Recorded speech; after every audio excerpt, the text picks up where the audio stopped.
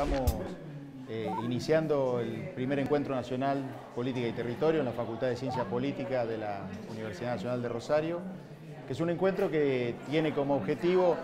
plantear debates y discusiones sobre estas dos categorías, la, política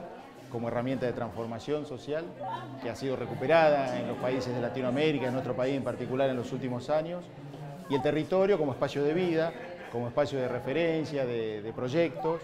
que, es una idea necesaria para poder anclar estos procesos políticos de transformación en distintas dimensiones espaciales. Cuando decimos territorio es porque vamos a estar analizando en estas jornadas procesos de integración regional, como los que se vienen dando en América Latina, UNASUR, ALBA, Alianza del Pacífico, procesos de recuperación de soberanías estatales que se vienen dando en nuestros países con estados mucho más presentes, que recuperan algunas herramientas como empresas públicas y demás,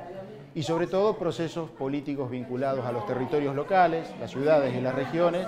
que evidentemente demuestran a diario que hay una cantidad de cuestiones que merecen ser analizadas desde la universidad pública. Es muy importante eh, la puesta en marcha de un centro de estudios sobre desarrollo y, territorio. Eh, esto nos convoca a varios a rediscutir muchos de los temas que tienen que ver con la política, con el, con el poder que se maneja en los territorios, con cómo se configuran del territorio y sus actores y cómo se relacionan esto con la construcción de los procesos de transformación en la sociedad. Eh, es una de las tareas pendientes que tiene eh, buena, parte de aquellos que se dedican a las políticas públicas en Argentina, que es la de revisar este, muchos de los supuestos epistemológicos